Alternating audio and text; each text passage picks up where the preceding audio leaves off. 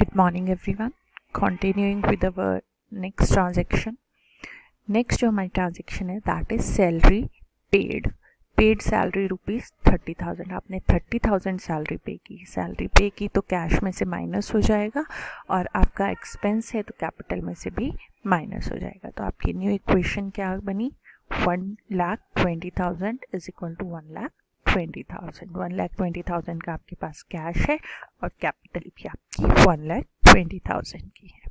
Then next जो हमारी transaction है that is purchase goods for cash rupees sixty thousand purchase की आपने गुड्स तो क्या purchase goods for cash rupees sixty thousand तो कैश में आपने सिक्सटी थाउज़ेंड दिया और गुड्स आपके पास आई।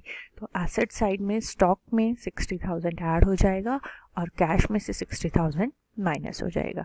तो अब इसका इफ़ेक्ट देने के बाद भी देखिए कैश आपका कितना रह गया? सिक्सटी थाउज़ेंड स्टॉक हो गया आपका सिक्सटी थाउज़ेंड और कैपिटल साइड हमारी वन लाख ट्वेंटी थाउज़ेंड तो दोनों साइड्स हमारी इक्वल अमाउंट है।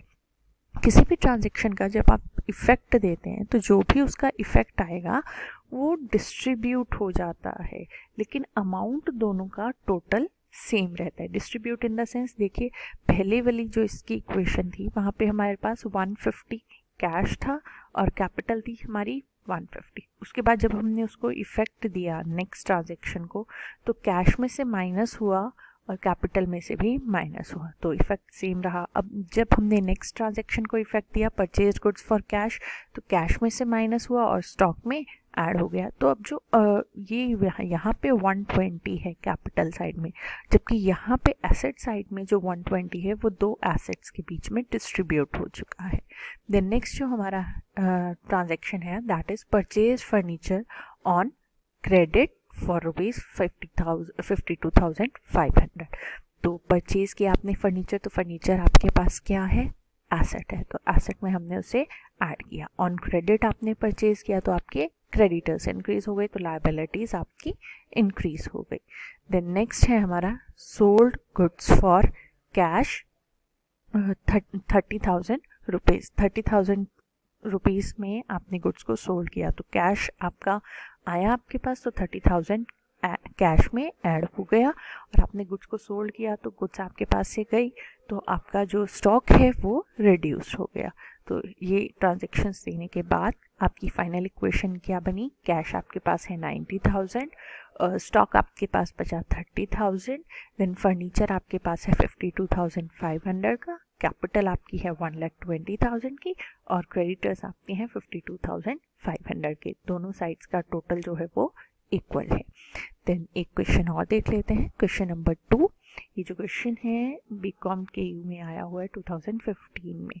तो क्वेश्चन देखते हैं। Prepare accounting question from the following वही आपने पहले फॉर्मेट बनाना है। देन ट्रांजेक्शन्स का इफ़ेक्ट हम देते हैं। Started business with cash cash आपके पास है और वही कैश जो है वो आपकी कैपिटल हो गया। तो कैश में हमने लिखा वन लैख और कैपिटल में भी हमने लिखा वन लैख तो हमारी इक्वेशन क्या हुई? One lakh cash is equal to one lakh capital goods for cash twenty thousand and on credit thirty thousand purchase किया गुड्स आपने गुड्स परचेज किया तो आपका स्टॉक हो गया। टोटल कितना परचेज किया आपने goods for cash twenty thousand on and on credit thirty thousand तो twenty plus thirty fifty thousand का टोटल हमारे पास स्टॉक हो गया twenty thousand and fifty thousand goods purchase किया आपने कैश में बीस हज़ार पे किया आपने तो कैश में से माइनस हो गया और क्रेडिट में थर्टी थाउज़ेंड तो क्रेडिटर्स आपके थर्टी थाउज़ेंड से इंक्रीज हो गए। तो हमारी न्यू इक्वेशन क्या बन गई? एट्टी थाउज़ेंड हमारे पास कैश है फिफ्टी थाउज़ेंड हमारे पास स्टॉक है कैपिटल हमारे पास वन लाख की है और क्रेडिटर्स हमारे थर्टी थाउज़ेंड के हैं।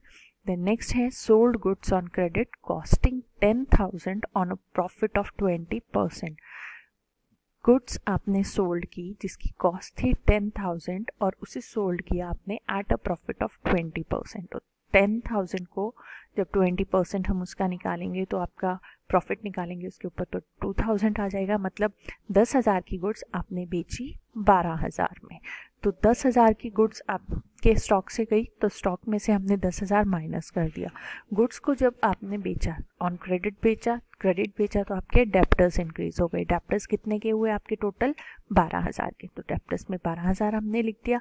और यहाँ पे आपका जो प्रॉफिट है वो कितना हुआ है? 2000 का। तो कैपिटल में हमने प्रॉफिट को ऐड कर दिया। तो हमारी फाइनल इक्वेशन क्या बनी? कैश है आपके पास 80,000 का स्टॉक है आपके पास 40,000 का डेप्टर्स रह गए आपके 12,000 के। और आपके कैपिटल है एक लाख दो हज़ार की और आपकी लाइबिलिटीज़ हैं थर्टी थाउज़ेंड की। ये हमारी फाइनल इक्वेशन है और एसेट्स का टोटल का इक्वल होगा कैपिटल प्लस लाइबिलिटी साइड के। तो ये था हमारा क्वेश्चन नंबर टू तो इसके साथ जो हमारा ये चैप्टर है अकाउंटिंग इक्वेशन का वो कंप्लीट होता है। इसके जो क्वेश्चंस दिए गए हैं बाद में प्रैक्टिकल क्वेश्चंस और बाकी जो इलोस्ट्रेशंस हैं, आप अपने आप ट्राई करेंगे। कोई प्रॉब्लम आती है तो आप गूगल क्लासरूम पे पूछ सकते हैं। Thank you so much